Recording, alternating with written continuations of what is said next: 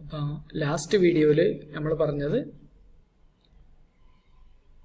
Sterilisation ചെയ്യാൻ വേണ്ടിയിട്ട്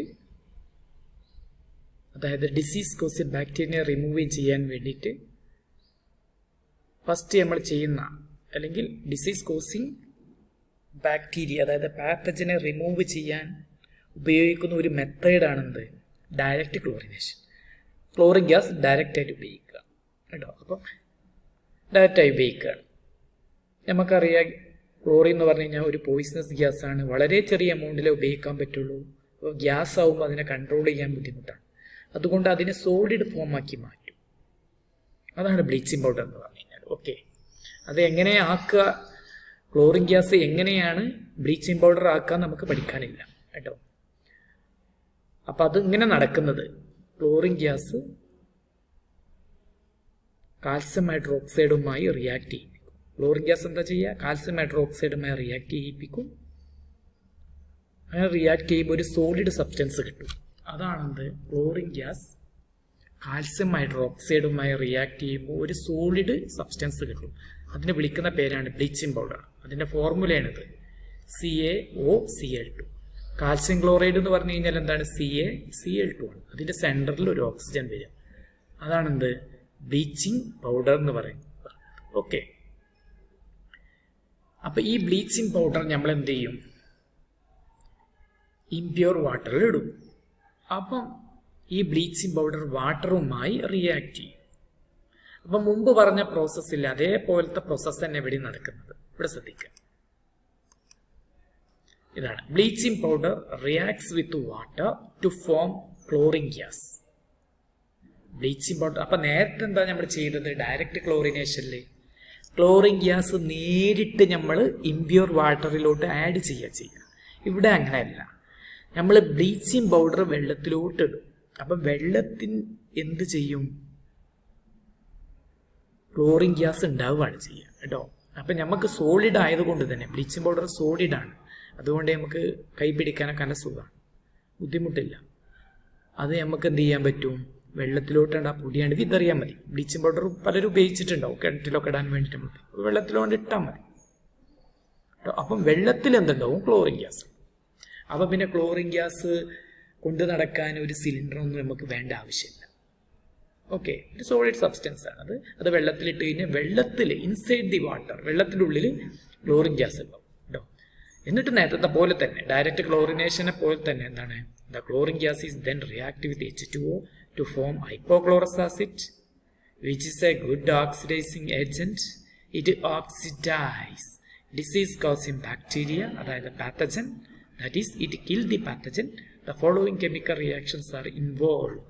അപ്പോൾ ഒന്നുമില്ല നേരത്തെ എന്താ ചെയ്തത് ക്ലോറിൻ ഗ്യാസ് വെള്ളത്തിലോട്ട് പമ്പ് ചെയ്തു ഇവിടെ നമ്മൾ ക്ലോറിൻ ഗ്യാസ് ഡയറക്റ്റ് ആയിട്ട് പമ്പ് ചെയ്യുന്നില്ല നമ്മൾ എന്താ ചെയ്യുന്നത് ക്ലോറിൻ ഗ്യാസ് ക്ലോറിൻ ഗ്യാസും കാൽസ്യം ഹൈഡ്രോക്സൈഡും റിയാക്ട് ചെയ്തിട്ട് നമുക്കൊരു സോളിഡ് സബ്സ്റ്റൻസ് കിട്ടും. അതാണ് bleaching powder C A O C A O C L two C A C A O C L two അതൊരു സോളിഡ് സബ്സ്റ്റൻസ് അത് നമ്മൾ വെള്ളത്തിലോട്ടാണ് ഇടും വെള്ളത്തിലിടുമ്പോൾ വെള്ളത്തിൽ ക്ലോറിൻ ഗ്യാസ് ഉണ്ടാവും കേട്ടോ വെള്ളത്തിൽ ക്ലോറിൻ ഗ്യാസ് ഉണ്ടാവും ക്ലോറിൻ ഗ്യാസ് ഉണ്ടായി കഴിഞ്ഞാൽ പിന്നെ എന്താ ചെയ്യുക അപ്പം ബ്ലീച്ചിങ് പൗഡർ വെള്ളത്തിലോട്ട് ഇടുമ്പോൾ ബ്ലീച്ചിങ് പൗഡർ വാട്ടറുമായി റിയാക്ട് ചെയ്യും അപ്പോൾ എന്തുണ്ടാവും ക്ലോറിൻ ഗ്യാസ് ഉണ്ടാവും. ഈ ക്ലോറിൻ ഗ്യാസ് ഡയറക്റ്റ് ക്ലോറിനേഷനിൽ നമ്മൾ എന്താ പറഞ്ഞത്? ക്ലോറിൻ ഗ്യാസ് ഉണ്ടായി കഴിഞ്ഞാൽ അത് വാട്ടറുമായി റിയാക്ട് ചെയ്യും. ഇവിടെ അങ്ങനെയാണ്. ബ്ലീച്ചിങ് പൗഡർ വാട്ടറുമായി റിയാക്ട് ചെയ്ത് ക്ലോറിൻ ഗ്യാസ് ഉണ്ടാവും. ക്ലോറിൻ ഗ്യാസ് വീണ്ടും വാട്ടറുമായി റിയാക്ട് ചെയ്യും. എന്നിട്ട് ഹൈപ്പോക്ലോറസ് ആസിഡ് ഉണ്ടാവും. അതൊരു ഗുഡ് ഓക്സിഡൈസിങ് ഏജന്റ് ആണ്. അത് എന്ത് ചെയ്യും? ഡിസീസ് കോസിങ് ബാക്ടീരിയനെ ഓക്സിഡൈസ് ചെയ്യും. അതായത് അതിൽ നിന്ന് ഇലക്ട്രോൺ സ്വീകരിക്കും. അപ്പോൾ ഇലക്ട്രോൺ സ്വീകരിക്കുന്നതിന്റെ ഫലമായി ഓക്സിജനിൽ വളരെ സന്തോഷമായി പക്ഷേ ഡിസീസ് കോസിങ് ബാക്ടീരിയ അറിയില്ല. ഇലക്ട്രോൺ കൊടുത്തു കഴിഞ്ഞാൽ സ്വയം നശിക്കുന്ന അതിനറിയില്ല. കേട്ടോ അതുകൊണ്ട് ഡിസീസ് കോസിങ് ബാക്ടീരിയ ഓക്സിജനെ കാണുമ്പോൾ ഇലക്ട്രോൺ പെട്ടെന്ന് കൊടുക്കും. അങ്ങനെ കൊടുത്തു കഴിഞ്ഞാൽ എന്ത് ചെയ്യും? പാത്തജൻ അതായത് ഡിസീസ് കോസിങ് ബാക്ടീരിയ നശിക്കും.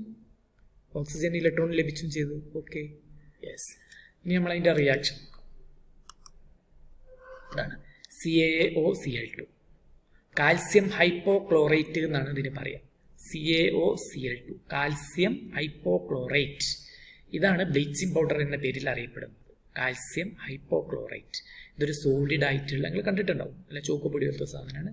അത് വാട്ടറുമായി റിയാക്ട് ചെയ്യും. അപ്പം ക്ലോറിൻ ഗ്യാസ് ഉണ്ടാവും. എന്നിട്ട് കാൽസ്യം പ്ലസ് കാൽസ്യം ഹൈഡ്രോക്സൈഡ് ഉണ്ടാവും. ഞാൻ മുമ്പത്തെ മുമ്പ് പറഞ്ഞിരുന്നത് ഇത് ഉണ്ടാക്കുന്നത് എങ്ങനെയാണ്? കാൽസ്യം ഹൈഡ്രോക്സൈഡും ക്ലോറിൻ ഗ്യാസും റിയാക്ട് ചെയ്യിപ്പിച്ചിട്ടാണ് ബ്ലീച്ചിങ് പൗഡർ കിട്ടുന്നത്. കേട്ടോ? ഇവിടെ നേരെ തിരിച്ച്. കേട്ടോ? അപ്പോൾ ബ്ലീച്ചിങ് പൗഡർ എങ്ങനെ ഉണ്ടാക്കുന്നത്? ക്ലോറിൻ ഗ്യാസ് കാൽസ്യം ഹൈഡ്രോക്സൈഡുമായി റിയാക്ട് ചെയ്യിപ്പിച്ചാണ് ഉണ്ടാക്കുന്നത്. അത് ഉണ്ടാക്കി വെച്ച്. കേട്ടോ? ആ ഉണ്ടാക്കി വെച്ചത് നമ്മൾ വീണ്ടും വെള്ളത്തിലോട്ട് ആഡ് ചെയ്യും. അപ്പോൾ എന്താണ് അതിന്റെ റിവേഴ്സ് കേട്ടോ? കാൽസ്യം ബ്ലീച്ചിങ് പൗഡർ ഉണ്ടാക്കുന്നത് എങ്ങനെയാണ്?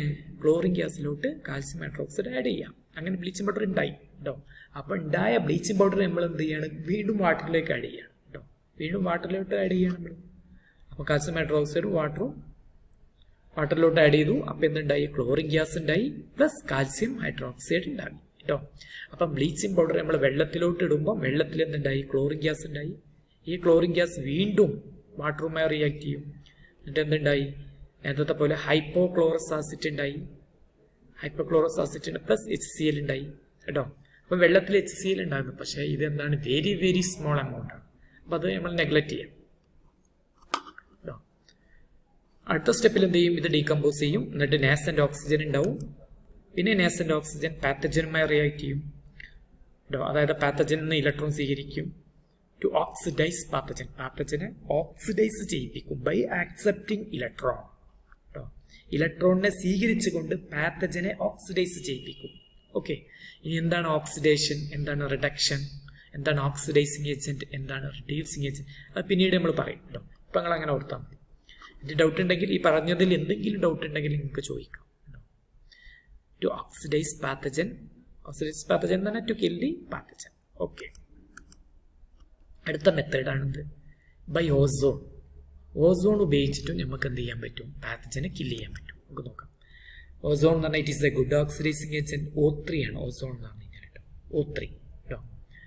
ഓ ത്രീ ഓ ത്രീ എന്നാണ് പറയുക. ബൈ ഓസോൺ ബ്രാക്കറ്റിൽ ഓ ത്രീ എന്ന് എഴുതണം. ഞാൻ എഴുതാൻ വിട്ടുപോയതാണ്. ഓ ത്രീ ഓ ടു പറഞ്ഞാൽ എന്താണ്? ഓക്സിജൻ മോളിക്കൂൾ ഓ ത്രീ പറഞ്ഞാൽ ഓസോൺ കേട്ടോ. It is a good oxidising agent it oxidise disease causing bacteria നേരത്തെ പോലെ തന്നെ ഓസോൺ പറഞ്ഞ ഒരു ഓക്സിഡൈസിങ് ഏജന്റ് ഇറ്റ് ഓക്സിഡൈസ് ചെയ്യും ബാക്ടീരിയ അതായത് pathogen that is it kill the pathogen following chemical reactions are involve അപ്പോൾ അതാണ് ഒ ത്രീ ഒ ത്രീ പറഞ്ഞ ഒരു ഗുഡ് ഓക്സിഡൈസിങ് ഏജന്റ് ആണ്. കാരണം ഇത് അൺസ്റ്റേബിൾ ആണ്. ഇത് ഡീകമ്പോസ് ചെയ്ത് കഴിഞ്ഞാൽ ഓട്ടും ഉണ്ടാവും നാസന്റ് ഓക്സിജൻ ഉണ്ടാവും. നേരത്തെ പറഞ്ഞതുപോലെ തന്നെ ഉണ്ടാവും എന്നിട്ട് എന്ത് ചെയ്യും? ഈ ഓക്സിജൻ എന്ത് ചെയ്യും? പാത്തജനുമായി റിയാക്ട് ചെയ്യും ടു ഓക്സിഡൈസ് പാത്തജൻ പാത്തജനെ ഓക്സിഡൈസ് ചെയ്യും. നേരത്തെ എന്താണ്? ഹൈപ്പോക്ലോറസ് ആസിഡ് ആണ്.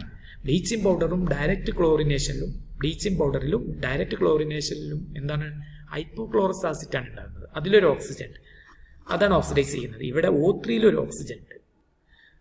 കേട്ടോ? ഒ ത്രീ ഡീകമ്പോസ് ചെയ്യുമ്പോൾ ഒരു ഓക്സിജൻ ഉണ്ട്. ഇങ്ങനെ ഡീകമ്പോസ് ചെയ്യുമ്പോൾ ഓക്സിജൻ ഉണ്ടാകുന്നത് കൊണ്ട് O three is a good oxidising agent എന്നാണ് പറയാം. കേട്ടോ?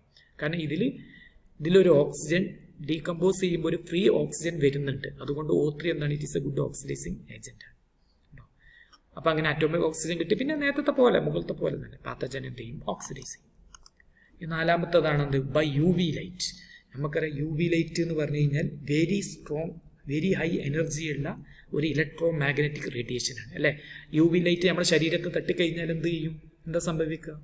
നമ്മളെ കണ്ണുമ്മ അടിച്ചു കഴിഞ്ഞാൽ കണ്ണ് എന്ത് ചെയ്യും? കാഴ്ച ശക്തി പോകും. കാരണം ഇതിന്റെ എനർജി വളരെ കൂടുതലാണ് കേട്ടോ.